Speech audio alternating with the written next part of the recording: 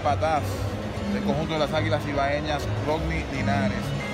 Rodney, cuéntanos cómo, cómo ha sido tu experiencia en estos primeros cuatro partidos que te ha tocado dirigir al conjunto Aguilar. Bueno, primero que todo, gracias por la entrevista, no saludo a la especialmente a la Aguilita. Eh, ¿Cómo ha sido mi...? Bueno, han sido cuatro partidos bien reñidos. Eh, cada partido eh, se ha decidido por un picheo. ¿entiendes? Son, los muchachos han jugado muy buen béisbol. creo que debemos de continuar minimizando los errores. Hemos hecho unos cuantos errores un poco infantiles, pero estamos tomando mejores turnos de calidad. Ayer el bullpen quizá no tuvo en su mejor momento, lo cual había sido el fuerte de nosotros en los primeros eh, tres juegos que había dirigido. Eh, los muchachos del bullpen habían tirado tremenda pelota. Viene el factor fatiga también, el factor salud, unos cuantos muchachos con gripe, unos cuantos muchachos día a día, pero son cosas con las cuales tú tienes que lidiar. Yo creo que han sido cuatro partidos muy buenos y esperemos que continuemos jugando bien, buen béisbol hasta el final. Rodney, siempre se ha dicho que el tema, el tema con, los, los dirigentes importados eh, tiene mucho que ver con un asunto de respeto de los jugadores hacia el dirigente. Tú que has estado en ocasiones has dirigido y que te toca por primera vez dirigir de manera formal un conjunto, ¿qué piensas sobre ese punto de manera específica? Yo no creo en eso, yo creo, mira, yo sinceramente, y te lo digo porque de mi parte yo empecé a dirigir la pelota dominicana muy joven eh, cuando yo empecé a dirigir eh, eh, hace tantos años que asumí el, reto con las estrellas orientales de interino por tres partidos, yo no llegaba a 30 años. Hoy en día yo cuento con 41 años de edad, ya lo he hecho anteriormente. Yo no creo en eso, yo creo que el respeto lo impone tú. Yo soy de los, que digo que al jugador yo, respeto para que me respete. Solamente al jugador, a cualquier persona, yo respeto para que me respete. Yo creo que eso es una misconcepción, es una concepción mala vida que hay, eh, porque hablamos la misma lengua, a veces yo creen que por eso. Eh, yo he trabajado al lado de muchos managers americanos en esta liga, los cuales son muy buenos hombres de béisbol, los cuales yo no les su mérito, pero a la misma vez siempre he dicho y he hecho esto, de que aquí hay mucho talento, que hay muchos muchachos, que hay incluso Omar Ramírez, José Miguel, siempre menciono el mismo grupo, o sea, Héctor los toros, muchachos que tienen, que tienen, ya tienen años haciéndolo en los Estados Unidos, eh, eh, a niveles de AA, AAA, el mismo Carlos Febre, que ni siquiera eh, se le dio la oportunidad y hoy en día es ganador de la Serie Mundial luchando. Pero vuelvo te repito, yo creo que eso es una concesión mala que tienen quizá los dueños, porque los peloteros, como tú sabrás, muchas de las veces los peloteros hablan con los dueños en vez de venir a hablar con los dirigentes, Pero yo soy una persona, como te digo, yo respeto a los jugadores, nunca le falta respeto a un jugador para que el jugador no falte a mí, y, y creo que esa es la clave. ¿Entiendes?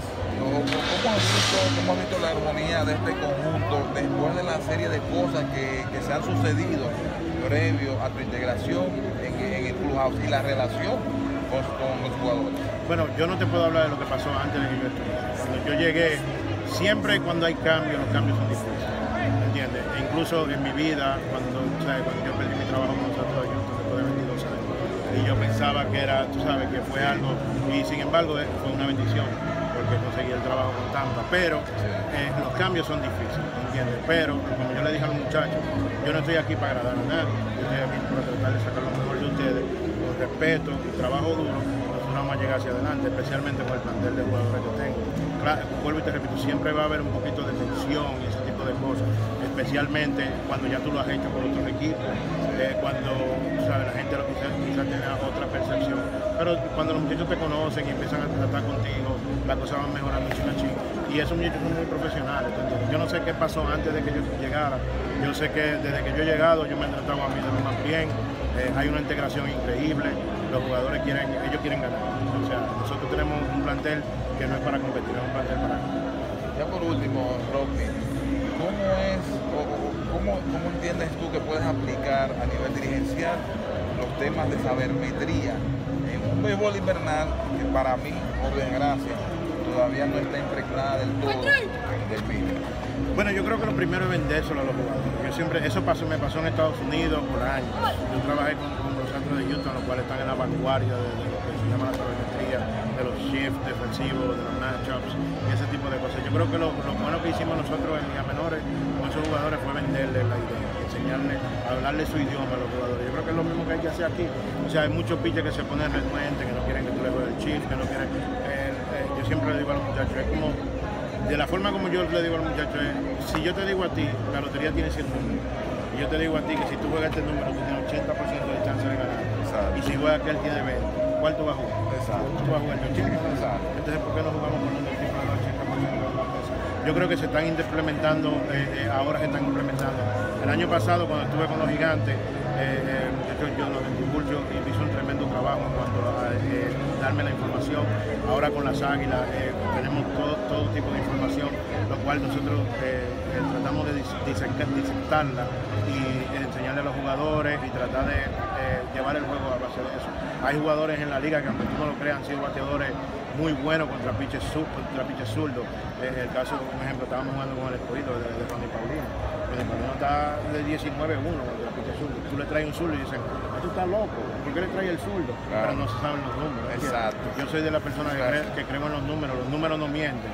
Los hombres mienten, los números no mienten.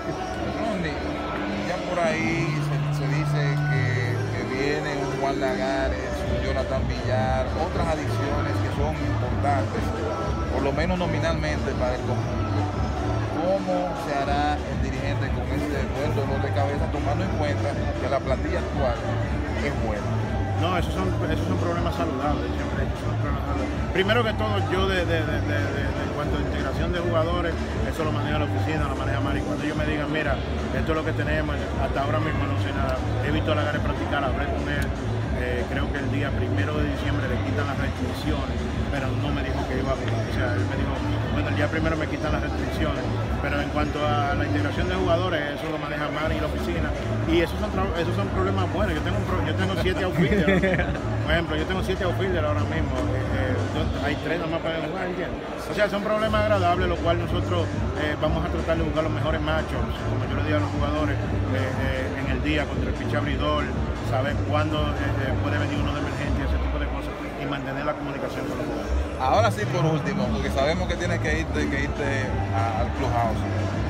Tienes 41 años de edad, pero con una vida impresionante en el béisbol organizado. De los más, o si no, el más preparado ha sido en República Dominicana en este momento para asumir la función que tienes.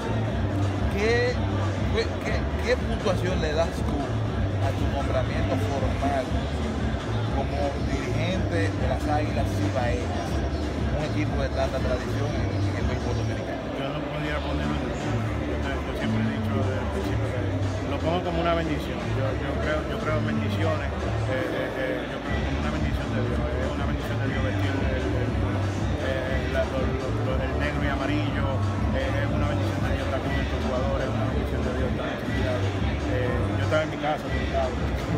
esperando eh, eh, quizás ir a reuniones y cosas Tampa.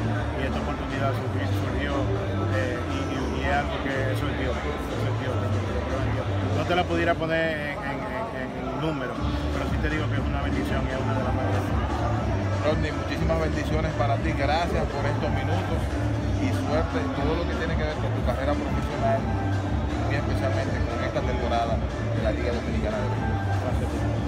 Bien las palabras de Rodney Linares, el dirigente de las Águilas Cibaeñas.